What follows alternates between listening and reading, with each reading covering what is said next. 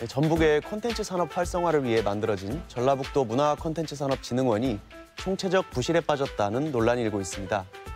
도내 뮤지션을 육성하는 레드콘 음악 창작소 사업은 취지와는 달리 뮤직 페스티벌에 지역 뮤지션을 들러리로 세우는가 하면 전북 콘진원의 지원을 받아 군산 은파 호수와 도립미술관에 구현하려 했던 영상은 단 한 번도 상영되지 않았습니다. 총체적 관리 부실이라는 지적이 나오는 이유인데요. 어찌된 영문인지 태민리 리포트에서 취재했습니다.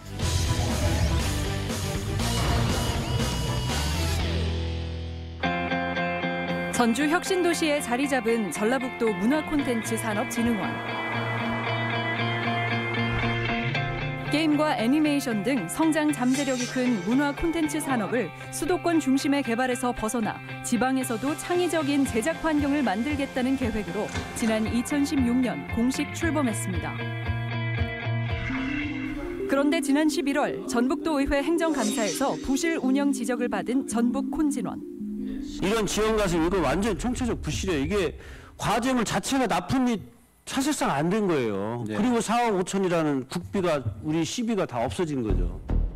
콘텐츠 개발을 명목으로 업체에 수억 원을 지원해온 전북 문화콘텐츠산업진흥원이 사후 관리를 제대로 하지 못해 혈세 낭비만 키운다는 지적을 받은 겁니다.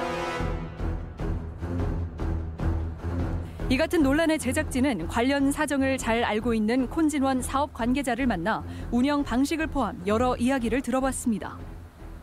국가 공모사이기 때문에 한국 컨텐츠 진흥원에서 국가 공모사업을 이제 띄우는 거예요. 공모를 띄우면 이제 각 지방에 있는 문화 컨텐츠 산업진흥원에서 일종의 대행을 하는 거예요. 그러면 이제 기업들이 거기 이제 공모 그 과제에 대해서 신청을 하는 거예요. 행정감사에서 지적을 받은 군산 은파 호수공원 수중 미디어 콘텐츠 사업. 지난 2017년부터 약 1년 동안 은파 호수의 수면을 스크린 삼아 3D 미디어 영상을 구현하기로 했는데 단 한 차례도 시연되지 못했습니다. 주관 기관들의 안일한 태도를 지적하는 관계자. 현장에서 제대로 구현이 될 수 있는 거를 현장에서 보는 게 필수적인데 skip하고 끝나버렸거든요. 설치 시설에 대한 현장 평가가 있어야 했지만 상영할 영상물만 심사위원들이 평가한 채 사업을 종료했다는 이야기입니다. 국비와 시비를 포함해 총 4억 3천여만 원을 지원받은 수중 미디어 사업. 하지만 사업 종료 시점 1년이 지난 지금까지도 단 한 번도 영상을 틀어보지 못한 채 녹슨 장비들만 덩그러니 방치된 상태로 남았습니다. 영상을 단 한 번도 시연하지 못했다는 것이 사실일까? 공연 한 번도 이루어지지 않은 거예요. 그렇죠. 테스트까지는 했는데 저희들이 알기로는 아마 다른 방법을 지금 찾고 있는 걸로 알고 있거든요. 그렇다면 이곳에서 수중 미디어 공연이 펼쳐지지 못한 이유는 무엇일까? 가정가 가지고 네네, 네 네. 수위가 2m 40 정도가 상승이 돼버렸습니다. 수위가 너무 높다 보니까 아무리 스크린을 강제로 끌어올리고 했는데 이게 제대로 수사가 안 되는 거죠. 이미 납품 처리되고 심사위원들한테 결과까지 끝낸 끝낸 사업이거든요. 가을 장마로 수위가 상승해 장비들이 물에 잠기며 영상을 투사할 수 없었다는 업체 관계자의 말. 하지만 수위가 낮아진 후에도 현장 평가는 이뤄지지 않았다는 관계자. 업체에서 강조한 것이 깊은 수심이라는 것은 물리적인 제약 조건을 극복을 하고 우리가 이거 영상을 구현할 수 있는 기술이 있다 라고 어필을 한 거고 시민들이 영상 콘텐츠를 한 번도 뭐 향유를 한다거나 그런 것도 없고 그냥 녹슨 채로 놔두라는 것이냐. 해당 업체는 막대한 예산이 들어간 시설물을 해체하자고 군산시와 콘텐츠산업진흥원에 제안합니다. 영상물은 문제가 없는 만큼 추가 지원금으로 문제점을 보완해 완벽한 영상물을 구현하겠다는 겁니다. 거기 군산에서 상영을 하고 쓸 거니까 네. 좀 비용을 좀 더 좀 추가로 이러이러한 상황이 뻔히 아시니까 전부 콘진도 보완하는 개념으로 해서 한 5천 정도만 더 세워주시면 네. 이렇게 좀 완벽하게 보완해서 이렇게 하는 게 좋지 않느냐. 하지만 이미 공사가 끝난 사업에 추가적인 예산 지원이 불가능하다는 군산시의 입장. 당연히 업체에서 그것까지는 검토를 해야잖아요. 이걸 추가적인 돈을 우렸죠. 그래서 우리는 못 온다. 네. 당초에 이 돈으로 시작을 한 부분이기 때문에 네. 여기에 맞춰서 그렇게 진행을 하고 벌써 그 횟수 쪽까지도 지금 검토를 하고 있는 상태에 있어요. 법적 분쟁까지 치닫는 상황에서 전북 문화콘텐츠 산업진흥원의 무책임한 행동을 비판하는 관계자. 가져갈 책임이 우리 전라북도 문화관광진흥원에 있는 거기 때문에 적극적으로 개입을 해서 뭐 분쟁을 해결하든지 해야 되는데 공문 주고받고 토세준 역할밖에 안 하다 그마저도 아예 직접적으로 보내라라고 하는 것은 가져관리 책임을 소홀히 했다라고 볼 수가 없는 거죠. 그런가 하면 또 다른 문제점이 지적된 전북 도립미술관 콘텐츠 테라피 사업. 이 역시 콘진원의 지원을 받은 사업으로 제작한 영상 작품을 도립미술관 벽면에 빔 프로젝트로 투사해 관람객들에게 볼거리를 제공할 예정이었으나 단 한 번도 시연되지 않았습니다. 이쪽에서는 영상이 미술관하고 맞지 않은 것이 있어서 그런 거 보완 요청을 했는데 그런 내용이 보완이 안 돼. 이후에 연락이 없고 그랬던 거예요. 콘텐츠 건물 내에 사무실을 둔 해당 업체. 제작진은 해당 업체를 찾아가 사업이 완료되지 않은 이유를 물었습니다. 다른 형태로 좀 바꿔달라고 했는데 저희 입장에서는 이게 지금 개발이 다 완료가 돼서 다른 형태로 개발은 좀 쉽지가 않다. 개발을 다 했고요. 근데 여러 가지 그런 부분에서 잘못을 했지만 먹튀 업체고 개발력 없고 그런 회사는 전혀 아니고요. 국비와 도비를 포함 총 1억 원이 투입된 해당 사업. 업체 측은 당초 지원 의도인 영상 제작을 완성했으니 문제가 없다는 입장입니다. 도의회에서 제출받은 심사위원들의 평가서를 보면 완성도 부족으로 대대적인 보완이 필요하며 개선이 이루어지지 않을 때 향후 사업 입찰에 배제하는 조치가 필요하다는 의견. 그렇지만 이런 문제점이 드러난 뒤에도 해당 업체는 전북 콘진원으로부터 다섯 건 약 3억 5천만 원 상당의 지원 사업을 잇따라 수주했습니다. 추가로 어떤 콘텐츠 진흥에서 발주하는 발주 사업에 제약을 걸어서라도 이런 업체들이 적어도 돈만 먹고 가면 끝난다라고 하는 사고방식을 없애줘야 될 거 아니에요. 그렇죠? 예, 정확한 말씀. 통상 자치단체와 업체가 계약을 할 경우 엄격한 절차를 거치지만 콘진원의 기업 지원 과제로 계약을 하면 평가 과정과 책임 소재가 불분명한 상황. 국민 혈세로 사업비를 지원해주고도 관리가 부실한 이유는 무엇일까? 전북 콘진원을 찾아가 이야기를 들어보기로 한 제작진. 오늘 원장님 부재 중이시라 내일 원장님 오시거든요. 아 원장님 말고 저희 시- 실무 좀 담당하셨던 분좀 이야기를 좀 듣고 싶어가지고 일단 이제 원장님 오시고 말씀을 드리는 게 좋지 않을까. 아무래도 이제 언론이다 보니까. 네. 실무 담당자와의 만남을 꺼려하는 듯한 콘진원 관계자. 그러던 중 전북 문화콘텐츠 산업진흥원에서 진행하고 있는 레드콘 음악 창작소 사업 역시 관리 소홀과 예산 낭비로 도마 위에 올랐습니다. 지역을 기반으로 활동하는 뮤지션들을 육성하고 멘토링, 음반 제작, 녹음실 제공과 상설 공연과 같은 지원을 통해 지역 뮤지션들이 안정적인 음악 활동을 할 수 있도록 돕는 사업. 이 사업의 운영 부실 문제가 불거진 것은 지난 10월 중순. 레드콘 소속 뮤지션들이 익산 종합운동장에서 열린 레드콘 뮤직 페스티벌 무대에 오르면서였습니다. 지원 대상을 알리는 데 목적이 있는 거지. 아홉 개의 라인업을 구축을 해가지고 하나부터 열까지 그 뮤지션들을 지원하기 위한 사업이 아니라 사업 공연이에요. 레드콘 뮤직 페스티벌 포스터.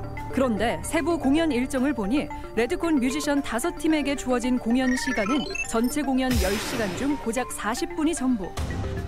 심지어 공연 티켓 판매 사이트에는 대부분이 인기 있는 대중 가수 홍보들로 줄을 이룹니다. 심지어 업체가 인당 4만 8천 원의 입장료를 받아 수익을 남겼다는 의혹도 제기됐습니다. 계획 변경에 대해서 서로 승인 절차를 거쳤어야 하는데 그 절차를 이행하지 않았고 그다음에 공공 출연기관에서 민간업체 수익 사업을 밀어준 꼴밖에 안 된 거잖아요. 결과적으로 피해가 된 거잖아요.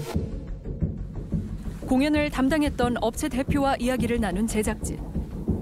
이 프로젝트가 진행이 됐을 때 수익이 나면 저희는 수익이 반환되는 조건이었고요. 연말에 결제를 하고 정산을 넘겼을 때 실질적으로 저희 같은 경우 마이너스를 크게 봤습니다.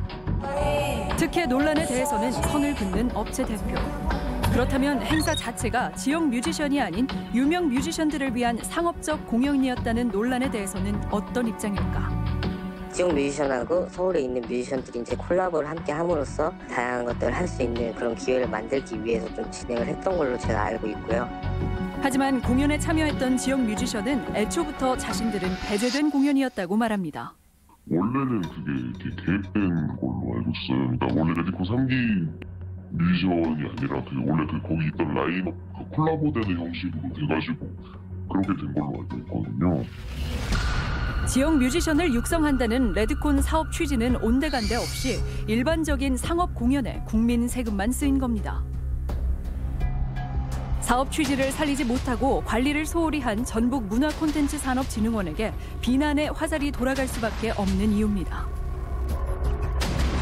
이와 같은 비난의 목소리를 콘진원 측에서도 파악하고 있을까? 문화 콘텐츠 산업진흥원장을 만나 직접 이야기를 들어본 제작진. 이제 저희 4년 된 신생 기관으로서의 그 업무 과실이 있는 건 사실이고요. 수요처를 통한 성과, 그 부분, 그리고 그런 부분들의 관리가 매우 약했던 부분이죠. 콘진원의 관리 부실을 인정하는 진흥원장. 그렇다면 일부 업체들에게 몰아주기식 사업을 진행했다는 비판에 대해서는 어떤 입장일까? 전문 기업이나 전문가가 너무 적은 거죠. 그러니까 그런 부분들을 어떻게 참여를 못하게 경쟁 이런 사업을 참여를 못하게 제재를 가하는 그런 국가법은 아직 없어요. 이게. 도내 콘텐츠 관련 전문 기업이나 인력이 부족하기 때문에 관련 사업 진행 시 업체가 중복될 수밖에 없다는 진흥 원장의 이야기. 지역 뮤지션을 위한 레드콘 사업이 특정 업체 배불리기 사업으로 전락했다는 지적에 대해서도 물어봤습니다. 적은 예산을 갖고 정책적인 어떤 그런 부분을 시연하, 실현을 하려다 보니까 원래부터 이제 무리한 그 여건 안에서 그런 어떤 부분의 진행에 조금 문제가 있었던 것 같고요. 그 부분을 저희가 적극적으로 지금 준비를 해서 내년부터 시행을 하려고 하고 있습니다. 부실 지원의 문제를 인정하고 개선책을 마련하겠다는 진흥원장의 답변. 올해로 출범 4년을 맞았지만 출범 취지를 달성하지 못한 채 국비와 지방비 등 혈세 낭비 논란을 야기해온 전라북도 문화콘텐츠 산업진흥원. 앞으로 해결해야 할 과제는 무엇일까? 문화 콘텐츠 산업진흥원이 문화 콘텐츠 산업을 진흥하는 역할을 하는 게 아니라 오히려 반대로 기업들의 도덕적 기회를 부정해, 부정해주는 꼴이 나오기 때문에 최소한의 과제 관리 시스템은 갖추고 해야 된다. 도내 문화 콘텐츠 기업을 육성하고 특화된 콘텐츠 개발을 통해 지역 경쟁력을 강화시키겠다던 전라북도 문화 콘텐츠 산업진흥원. 총체적인 운영 부실이 드러난 만큼 성과 위주의 공모 사업 진행이 아닌 문화 콘텐츠 사업 관리 시스템에 대한 대책을 마련해 전북만의 특색 있는 콘텐츠 산업을 키워갈 수 있길 바랍니다.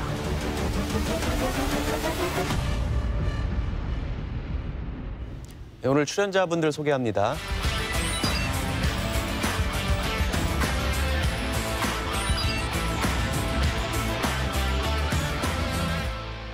방금 영상에도 이렇게 나오긴 했지만 좀 사안별로 이렇게 핵심되는 내용을 좀 정리를 하고 갔으면 좋겠습니다. 그러니까 뭐 크게는 도립미술관 영상 콘텐츠 관련 사업이고 음파 호수 군산인 음파 호수에 대한 수중 미디어 콘텐츠 두 개 사업이 이제 가장 큰 문제점인데 예. 어 도립미술관 영상 콘텐츠 사업 같은 경우는 약 1억 정도 가는 사업입니다. 그런데 작품 시연을 하기로 한 작품이 단 한 번도 도립, 도립미술관 시연된 적이 없어요. 두 번째로는 군산에 이제 음파호수에다가 수중 미디어 콘텐츠 사업을 하겠다는 것도 이제 약 4억 3천 정도 되는 큰 예산을 갖고 사업비를 받았는데 결과적으로 그 프로젝터가 홍수 때문에 물이 일부 범람하면서 그 프로젝터가 고장이 납니다. 단 한 번도 4억 3천을 들여서 어, 수중 미디어 콘텐츠를 개발했다고 했지만 단 한 번도 에, 시연되지 못하는 이 코미디 같은 안타까운 네, 결과물이 둘 다 안 나왔다는 거고 네. 그 레드콘 사업 이야기는 뭔가요? 지역에서 이제 빛을 보지 못하는 언더그라운드 뮤지션들을 좀 뭔가 오프닝 무대에 세워보자라고 하는 취지로 상당히 좋은 취지로 이 사업이 시작됐는데 뮤직 페스티벌을 하나 하려고 했던 거예요. 뮤직 페스티벌을 했는데 이 예산을 어, 예산 지원은 6천만 원밖에 안 됐는데 문제는 이 업체한테 이걸 위탁해서 주는 과정이 정책 위탁이라고 하는 듣도 보도 못한 방식으로 이제 위탁을 주게 되면서 뭐 수의 계약하고 전혀 다르지 않는 형태로 어 이런 것을 주게 되면서 어떤 도민들 입장에서 봤을 때 의혹을 가질 수 있는 뮤지션 입장에서는 매우 상실감이 큰 그런 사업이었다 이렇게 생각합니다. 결국은 우리가 좀 흔히 주제로 다루는 보조금 지원 사업의 허점 이야기인데요. 김나 국장님 어떻게 보셨어요? 그러니까 보조금 사업의 긍정성이라고 하면 기업이나 뭐 단체를 활성화시키고 또 지원을 해준다는 의미가 있지만 이게 악용이 될 경우에는 어, 행정이 분명히 같이 하는 사업임에도 불구하고 행정의 어떤 책임성들을 되게 수동적으로 진행을 합니다. 이제 보조금 사업의 아주 맹점인 거죠. 네, 좀 의아했던 부분은 이렇게 약간 부실한 결과물이 드러났는데도 계속 그 소수의 좀 편중된 업체한테 지원이 계속 나갔다는 부분. 좀그 부분을 좀 다들 이상하게 생각할 것 그게 같습니다. 이제 이- 정말로 이해할 수 없는 건데요. 이제 이게 그 도립미술관 관장님이 보니까 내용이 좀 허접해요. 예. 그래서 내용 수정 보완을 업체한테 요구했었잖아요. 근데 업체한테 요구했는데 이 업체가 우리는 계약 과정에서 영상물 수정에 대한 계약 내용이 없다. 그러니까 우리는 이 작품 하나 만들었으니까 그것으로 끝이다라고 도립미술관 관장님한테는 전달했는데 문제는 이 전달을 발주처인 컨텐츠진흥원에게 보고하지 않은 겁니다. 이 회사가 컨텐츠진흥원 관계자가 발, 그 작품이 시연되지 않았다는 사실을 1년 6개월 후에 알아요. 어. 직원들이 과연 몰랐다는 것 자체가 저는 이해가 안 간다는 거죠. 자기 돈이라고 생각하면 내 돈 1억이 투입됐는데 투입된 결과물이 도립미술관에 시연됐어야 되는데 시연되는 거 확인도 안 하고 통과 예스를 해줬다는 거거든요. 아니 우리가 그런 계약서상 그런 내용이 없으니까 못 해주겠다고 빼는 사람들도 좀 이상한 거고 결국 이런 문제가 그 뒤 늦게서야 겨우 이야기가 된다고 한다면 도대체 이것은 밀실 중에 이런 밀실은 없는 거 아니에요? 아니면 무관심이라고 봐야지 되는 거예요. 정말 알 수가 없는 이야기죠. 저는 예. 자신들의 성과들을 올려놨더라고요. 봤는데 뭐 미술이라든가 이 분야하고 상관없이 오로지 게임에 대한 에, 그 경력만 있을 뿐이었어요. 그래서 맞아요. 나중에 보니까는 이 업체가 또 도리어 하청을 줬다 이런 네, 얘기도 뭐 저도 충분히 지금 그런 의혹들이 이미 예, 언론을 통해서도 보도가 되고 있고 지금 제기가 되고 있는 그런 상황이잖아요. 심각한 거 아니겠습니까? 그러니까 자격이 안 네. 되고 이거는 뭐 처음부터 뭔가 목적이 불순하다고밖에 볼 수 없지 않을까 싶어요. 이 진흥원에서 이렇게 사업을 추진할 업체를 선정할 때 기본적으로 심사하는 절차나 어떤 시스템은 마련돼 있지 않습니까? 되어 있습니다. 예. 예, 그럼 그 도립미술관에 1억짜리 사업 발주를 받은 회사가 컨텐츠 진흥원에 5년 동안 총 발주 금액이 13억 5천 정도가 됩니다. 예. 그러니까 사실상 거의 독점하다시피 한 업체고 이 제가 이제 이 컨텐츠 진흥원의 심사위원들 명단이 총 198명 정도 됩니다. 확보된 전체 명단이. 근데 이제 이분들 중에서 이런 업체들의 대표들이 사실 또 심사위원으로 들어가 있습니다. 이제 어, 도립미술관 업체를 발주받은 업체의 대표도 2018년 전까지는 거기에 심사위원으로 위촉이 돼 있었던 예. 상황도 있어요. 그러니까 거기에 업체로 들어 그 발주받는 업체의 대표가 또 심사위원도 되고 하는 이런 여러 가지 정말 말도 안 되는 이런 일들이 사실 지금 일어난다는 게 사실은 너무너무 이제 안타깝죠. 안타깝죠. 그럼 그러면 그런 부실한 결과물을 낸 업체에 대한 어떤 페널티랄까요? 어떤 감점이나 향후 입찰에 참여하지 못하게 한다거나 그러한 제한 조치 같은 건 없나요?